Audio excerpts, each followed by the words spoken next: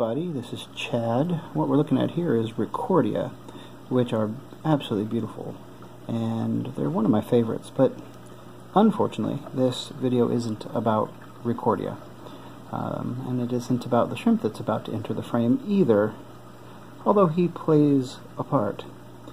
It's actually about mm, something ugly, um, something annoying, and that something is right there.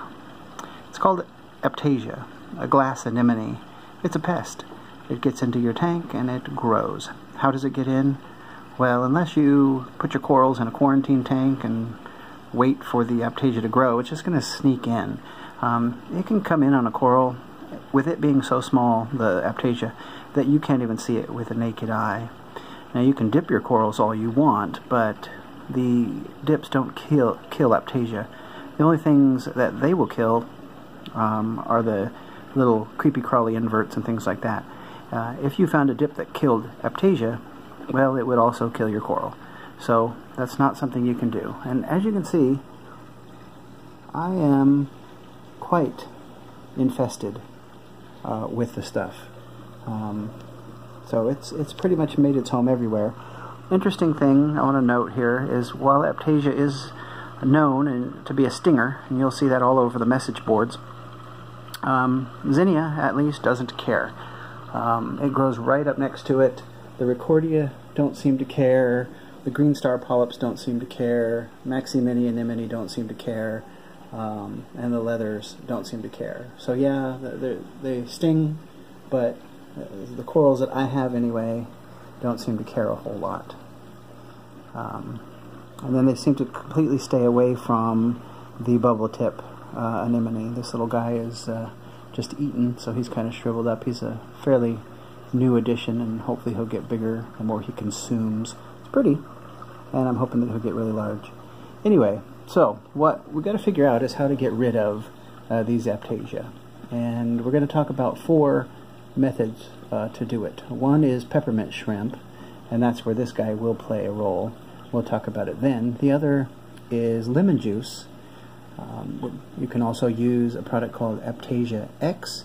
And then the fourth and final method that we're going to talk about is kind of fun. I think you're all going to enjoy that. It's using a laser beam um, to burn them. Well, I have a high-powered blue laser, and we're going to scorch some of these suckers and um, see how that does as far as getting rid of them. That'll be in the uh, fourth and final video. So the next the next video we'll be talking about peppermint shrimp. The video after that will be talking about the lemon juice, and then, then after that the aiptasia, then finally the laser. Um, so it'll be a total of, of uh, five or six videos on, on Aiptasia. There's a few other method, methods that I'll briefly mention, but we're not going to show you how to get rid of them with those methods. Um, for me, it's because they're costly. Now you're probably thinking the laser is costly. Yeah, laser's costly. I, I admit that I did that mostly just to see, just so that I could own a laser. I mean, come on, who doesn't want to own a laser, right? So the main main methods, that's what we'll do. Anyway, so so stay tuned. Uh, we'll we'll start the other videos really soon. And the reason I'm doing separate videos is is so we can take time to actually demonstrate because I don't want to just tell you about it. I want to actually show you. I'm going to do each of the methods. So since we have an infestation, it gives me an opportunity to, to actually show you. Now the nice thing is, I want to point out, I'll be able to get rid of these. So I'm not, you know, yeah, it looks bad. They're everywhere. Um, you know, I mean, look, there's a there's a ton of them. But I'm not I'm not so worried that I'll never ever get rid of them. And, I, and I'll tell you which one of those methods works best and what some of the drawbacks are. So so stay tuned. Um, like this video, make some comments if you have questions that you want me to particularly address in the coming up videos um, and subscribe so you'll be notified when the ones do pop up because it'll be it'll be pretty soon. All right, thanks for watching, guys. I'll talk to you later. So I took an Aiptasia and I put him in one of my deep slides for the microscope because I wanted to, to look at him. Um, at first I took a um, macro lens, but that wasn't enough, so I had to actually stick him under the microscope. So what we're looking at here is one of the tentacles.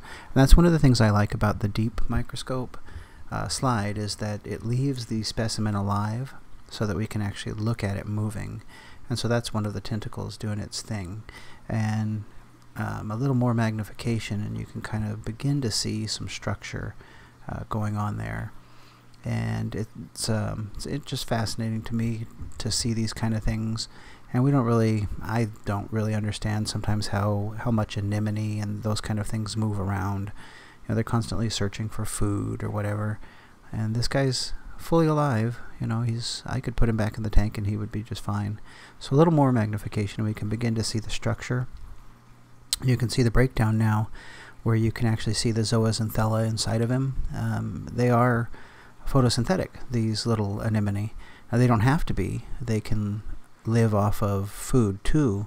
So you'll sometimes find them in completely dark places, but they prefer the light. They do much better and they'll collect that zooxanthellae. Now, it's interesting, you see he's puffing up, and he's in, in putting water into his body. Look at that. That's pretty cool. Um, and he was agitated, of course, because I took him out and put him in the slide, but now he's getting more comfortable and uh, expanding back to, to normal. And that allows you to see the zooxanthellae a lot more. I think that's pretty fascinating. You can see the each individual little algae and that's where just like your corals that's where he gets his uh, energy from the, the vast majority of it. And you can kind of begin to see on the outside of the well I've gone out of focus now. It's hard with the deep slide to get what you want in focus just in case you're wondering because you're talking about focusing on a very very slight three-dimensional area. So sometimes I get kind of messed up so let's see if we can go a little bit uh, more. Let's see what that does for us. So what I'm thinking actually at this point is that I'm going to have to take a, a, specimen to get what I really want to see. And I'm guessing you're probably thinking the same thing I am, that the thing you really want to see is the nematocyst. And that's going to be the stinging cells. They're much smaller than the single cell algae. So you can see tons of that zooxanthellae, and you can kind of see a little bit of the fuzz of the nematocysts. But nematocysts, they don't quite look like what we expect them to. So it'll be interesting, but I'll have to, what I'll have to do is take a, um, a slide preparation, meaning I'll have to take a little razor blade, slice off a little bit, and put them on a flat slide. And by doing that, it gets more light through, and it also allows me to focus perfectly, and it'll allow me to use the larger lens, which I, I can't do. So I will do that. Just a sec. Okay, there it is. That's a little bit of tentacle on a uh, flat slide which will allow me to put it in the uh, microscope and get the, uh, the really nice um, high power view. There we go.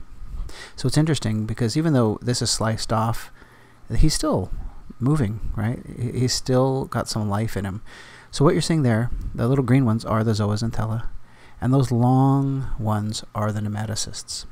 And so inside of those, if I had one more level of zoom, you could see their, them coiled up but they, they kind of explode out the end um, of that.